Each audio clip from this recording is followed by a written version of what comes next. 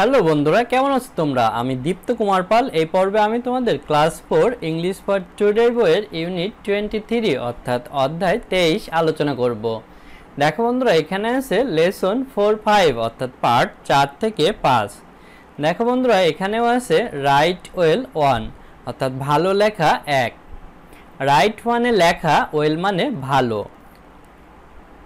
তাহলে বন্ধুরা এখানেও আমরা কীভাবে ভালোভাবে লিখতে পারি সেটি আমরা জানব। দেখো, এতে আছে রিড অ্যান্ড সে পড়ো এবং বলো। দেখো বন্ধুরা, এখানে আমরা দেখতে পাচ্ছি দুইজন মেয়ে কথা বলছে। প্রথম মেয়েটি বলছে hi I am Riya hi আমি রিয়া হোয়াটস ইয়োর নেম তোমার নাম কি?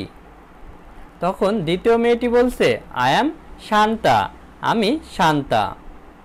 তারপর প্রথম মেয়েটি আবার বলছে I am in class four আমি চতুর্থ শ্রেণীতে পড়ি। Are you in class four তুমিও কি চতুর্থ শ্রেণীতে পড়ো? তখন দ্বিতীয় মেয়েটি বলছে ইয়েস আই অ্যাম হ্যাঁ আমিও। অর্থাৎ দ্বিতীয় মেয়েটিও চতুর্থ শ্রেণীতে পড়ে। দেখো বন্ধুরা, এখানেও আছে ল্যাঙ্গুয়েজ ফোকাস ল্যাঙ্গুয়েজ ফোকাস মানে ভাষার আলোকপাত। ল্যাঙ্গুয়েজ মানে ভাষা ফোকাস মানে আলোকপাত। B use of question mark, প্রশ্নবোধক চিহ্নের ব্যবহার। বন্ধুরা, এখানে দেখো ব্রাকেটে প্রশ্নবোধক চিহ্ন দেয়া আছে। এর আগের লেসনে আমরা ক্যাপিটাল লেটার এবং ফুল স্টপের ব্যবহার শিখেছি। এখন আমরা কোর্সেন মার্ক অর্থাৎ প্রশ্নবোধক চিহ্নের ব্যবহার শিখব। বন্ধুরা, ইউজ মানে ব্যবহার, কোর্সেন মানে প্রশ্ন, মার্ক মানে হচ্ছে চিহ্ন। হোয়েন উই ওয়েন্ট ইনফরমেশান যখন আমাদের তথ্যের প্রয়োজন উই আক্স এ কোর্সেন আমরা একটি প্রশ্ন জিজ্ঞাসা করি। বন্ধুরা হোয়েন মানে হচ্ছে যখন উই মানে আমাদের ওয়েন্ট মানে চাওয়া বা প্রয়োজন হয় ইনফরমেশান মানে তথ্য। উই মানে আমরা আক্স মানে জিজ্ঞাসা করা কোর্সেন মানে প্রশ্ন। We use a question mark at the end of the sentence আমরা বাক্যের শেষে একটি প্রশ্নবোধক চিহ্ন ব্যবহার করি।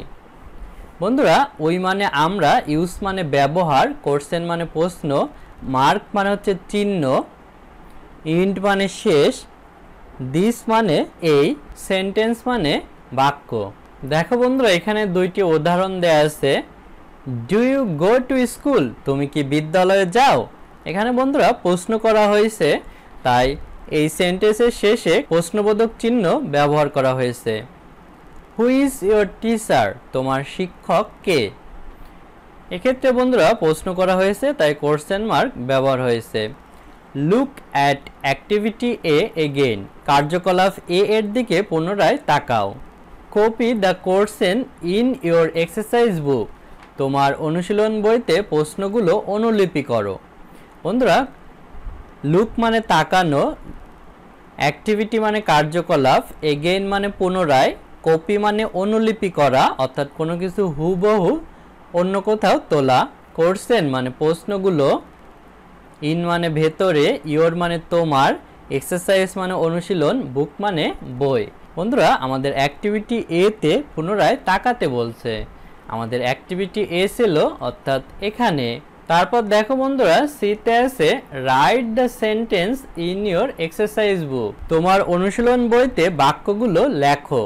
বন্ধুরা রাইট মানে লেখা সেন্টেন্স মানে বাক্যগুলো ইয়োর মানে তোমার এক্সারসাইজ মানে অনুশীলন বুক মানে বই। At capital letters and question mark বড় হাতের অক্ষর এবং প্রশ্নবোধক চিহ্ন যুক্ত করো। বন্ধুরা অ্যাড মানে যোগ করা বা যুক্ত করা ক্যাপিটাল লেটার্স মানে বড় হাতের অক্ষর অ্যান্ড মানে এবং কোর্সেন মার্কস মানে প্রশ্নবোধক চিহ্ন। দেখো বন্ধুরা, নিচে কয়েকটি সেন্টেন্স রয়েছে, এখানে আমরা ক্যাপিটাল লেটার্স এবং কোর্সেন মার্ক যুক্ত করব। প্রথম আছে ডু লিভ ইন রাজশাহী তুমি কি রাজশাহীতে বাস করো? এখানে কোনো কিছু জিজ্ঞাসা করা হয়েছে, তাই সেন্টেন্সের শেষে কোর্সেন মার্কস বসবে এবং প্রতিটা সেন্টেন্সের প্রথমেও কিন্তু বড় হাতের হয়। এক্ষেত্রে ডু এক্ষেত্রে ডি কিন্তু বড় হাতের হবে। তারপর দেখো বন্ধুরা, রাজশাহী একটি স্থানের নাম, তাই আর বড়হাতের অর্থাৎ ক্যাপিটাল লেটারে হবে। তারপরে, হোয়াই ডু ইউ প্লে? তুমি কোথায়? খেলা করো। এক্ষেত্রে বন্ধুরা, প্রশ্ন করা হয়েছে, তাই আমরা কোশ্চেন মার্ক দেব এবং হয়ার এটি ডাব্লু বড় হাতের হবে। তারপরে is Mitu your friend? Mitu কি তোমার বন্ধু?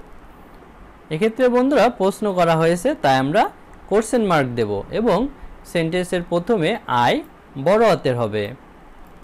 তারপর বন্ধুরা মিতু মিতু একটি মানুষের নাম, তাই এম বড় হাতের হবে। How old are you? তোমার বয়স কত? এখানেও প্রশ্ন করা হয়েছে, তাই আমরা কোশ্চেন মার্ক দেব এবং সেন্টেন্সের প্রথমে এইস বড় হাতের করব। Can you use a computer? তুমি কি একটি কম্পিউটার ব্যবহার করতে পারো? এক্ষেত্রে বন্ধুরা প্রশ্ন করা হয়েছে, তাই কোশ্চেন মার্ক দেব এবং সেন্টেন্সের প্রথমে সি বড় হাতের দেব।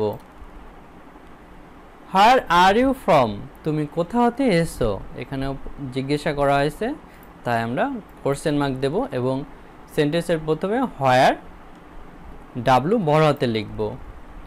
বন্ধুরা, তাহলে কিন্তু আমরা এই প্রশ্নগুলো কোথায় ক্যাপিটাল লেটার হবে এবং সেন্টেন্সের শেষে কোশ্চেন মার্ক হবে কি না সেটি কিন্তু আমরা বুঝতে পেরেছি। তাহলে বন্ধুরা, আজ আমাদের ভিডিও এ পর্যন্তই। পরবর্তী ভিডিওতে আমরা পরবর্তী ইউনিট আলোচনা করব। ভালো থেকো তোমরা।